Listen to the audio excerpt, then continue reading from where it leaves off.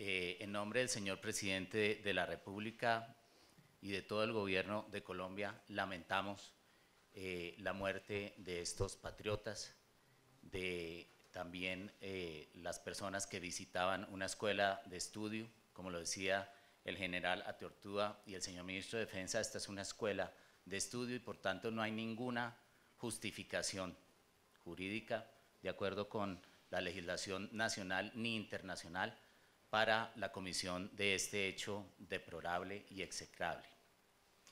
El señor presidente de la República, desde el discurso de su posesión el 7 de agosto, dio un mes para la evaluación del proceso de paz que venía desarrollando el gobierno anterior con el ELN durante 17 meses.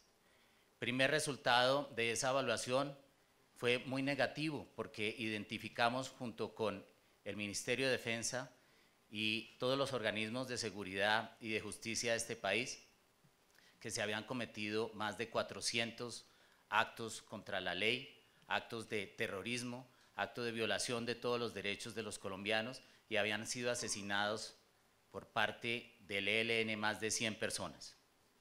Con posterioridad a eso, el señor presidente de la República estableció, como todo el país conoce, unos mínimos, unas líneas rojas que hoy permanecen y quiero ser absolutamente claro en esta declaración. El señor presidente ha dicho con claridad que no habla ningún espacio de diálogo con el ELN hasta cuando no entregue todos los secuestrados. Y lo quiero decir hoy a Colombia y al mundo, hasta cuando no renuncie definitivamente a ese delito que todos los colombianos y todos los miembros de la comunidad internacional rechazan rotundamente. También ha dicho con claridad el señor presidente que no habrá ningún espacio de diálogo si continúa este grupo armado con los actos criminales.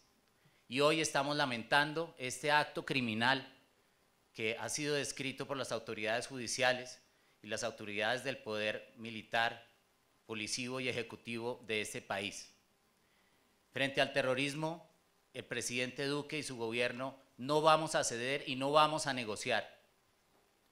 Y en este momento quiero mencionar que durante el periodo de gobierno del señor presidente Iván Duque Márquez, el ELN ha secuestrado nueve personas que se suman a las personas que históricamente habían sido secuestradas por ese grupo. El día 8 de agosto, el ELN secuestró tres soldados de la patria en Arauca. Posteriormente, en septiembre, secuestró a la señora Diana María Toro en Amagá, que hoy se encuentra en poder de ese grupo. También había secuestrado a una niña menor de edad en el Chocó, que fue reconocido ese secuestro por alias Uriel, que está en la estructura del bloque noroccidental liderada por alias Fabián.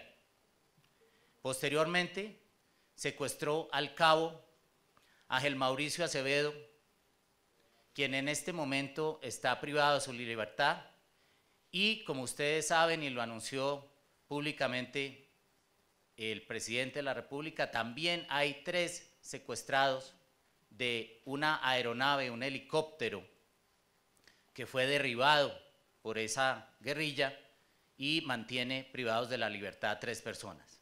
A esto se suman 33 voladuras del oleoducto Caño Limón Coveñas, primera de ellas el día 11 de agosto, a pocos días de la toma de posesión, y son cinco atentados contra el oleoducto en lo que va de este año 2019. 89 atentados en total contra el oleoducto en el año 2018.